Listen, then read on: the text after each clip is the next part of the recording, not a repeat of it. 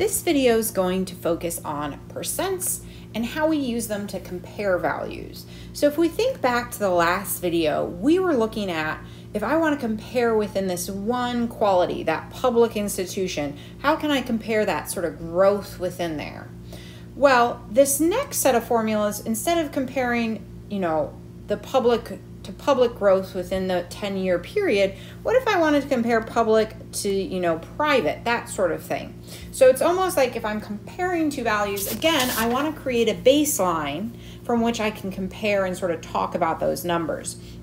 And so we have, ta-da, it's math, formulas. But you should take a close look at these. So notice it's absolute difference and relative difference, and it helps if my key has the correct word there.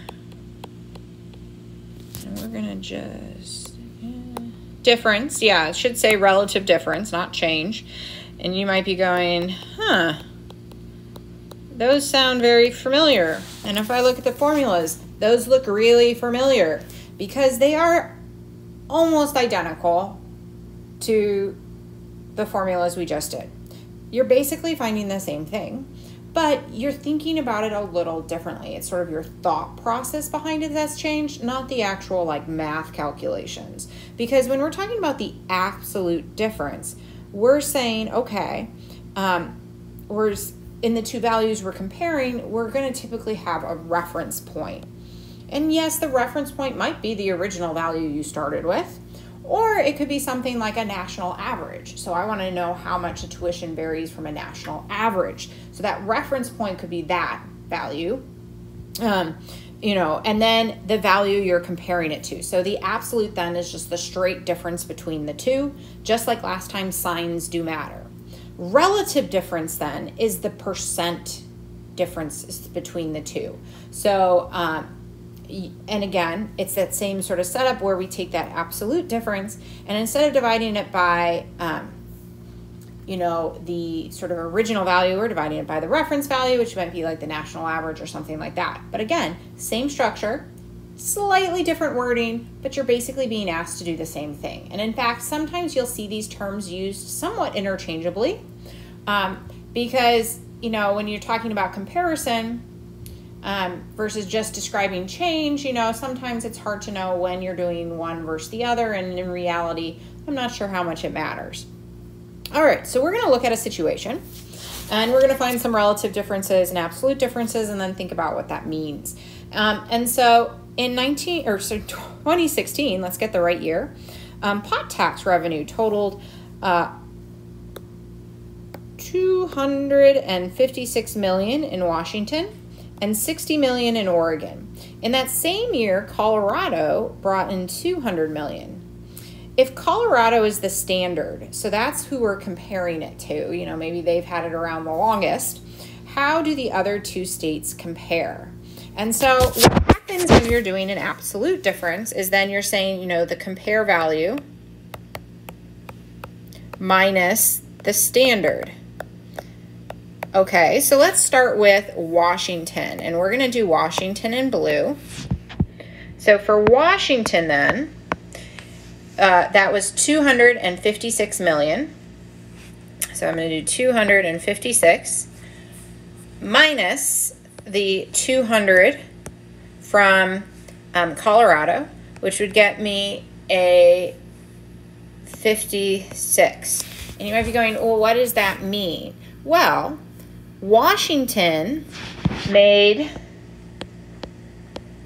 56 million dollars more than Colorado. That's what that means. That's what an absolute difference means. Now, if I then did the same thing with Oregon, and so let's switch colors here. So we're going to do a green for Oregon. Um, so for Oregon then, I would have the 60 million minus the 200 as my standard.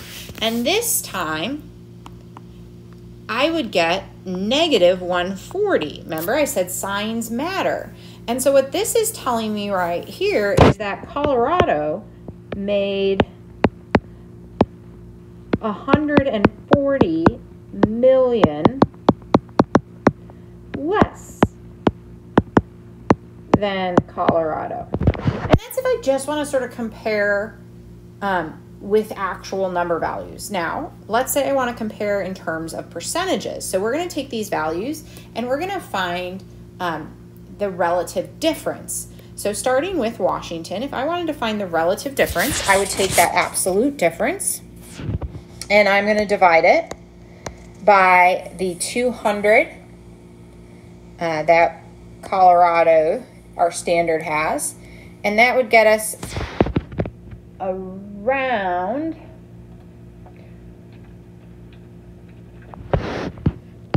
zero point two eight. And so if I turn that into a percent, that would be 28%.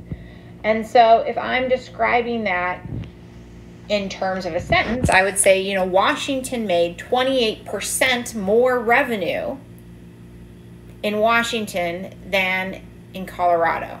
So, like, Washington made more, and that's the percent more it made.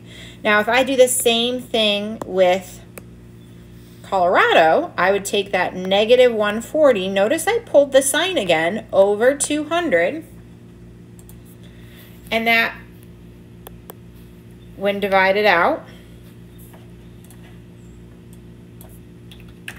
would get me negative 0.7 or negative 70%. And so I could describe that as saying, okay, Oregon made 70% less revenue than Colorado in 2016. And granted, remember, the signs carry.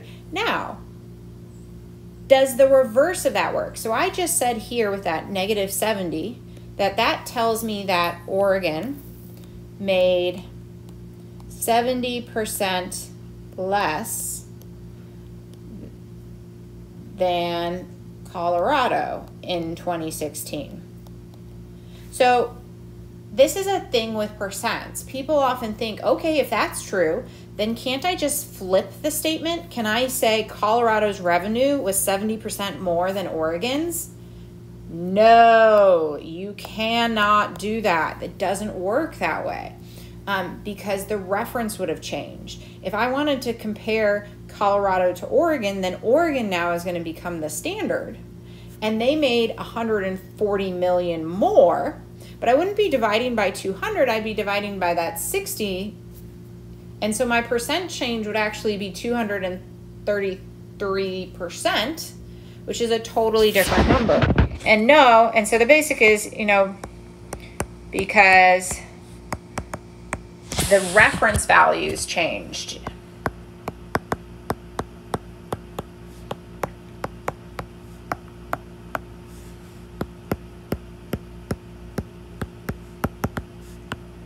to Oregon, so it would get a totally different percent change. And that's important to keep in mind. So if I wanted to figure this out, just so you know, instead of the negative 140, it would have been the positive 140 absolute change. But instead of dividing by 200, the key difference here is we would have been dividing by the 60 because 60 million is now my reference point, which would get me 233.3%, a totally different number than that 70% we found on the previous problem. And that's one of the things with percents. We, we can't just treat percents like normal everyday values because there's sort of this thing that tells us how much of a whole we have and you know it's not as straightforward it's not it's not a plain number now thinking about that we're going to look at this next problem and I put this in with this, and this is one that it doesn't use the absolute or relative formulas, but it's something to think about. So here we're told Jada earns 200% more than Reggie. So what is Jada's income as a percentage of Reggie? You might be going, well, 200, right? Like, no duh. Except, no Um, and so you almost want to think about it as if I wanted to know how much Jada earned, we're just going to say Jada. I would find that by basically taking um, however much Reggie earns, and I would have sort of the 100%. So I'm going to need to give myself, I'm going to take my, actually, I'm going to change how I write this. I'm going to take how much Reggie earned and then I'd add, because it's more than 200%, 200% of what Reggie earned. And, and 200% as a decimal, 200 over 100 is really two times what Reggie earned. So the reality is, is if you think about this, we're looking at sort of a like this whole amount plus this plus two times that whole amount, which really means you could think of it as a 100%, what he originally owned, plus the 200% more, which is a total of 300%.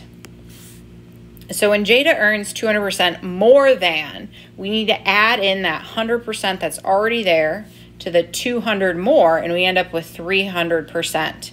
So Jada's income is 300% of Reggie's.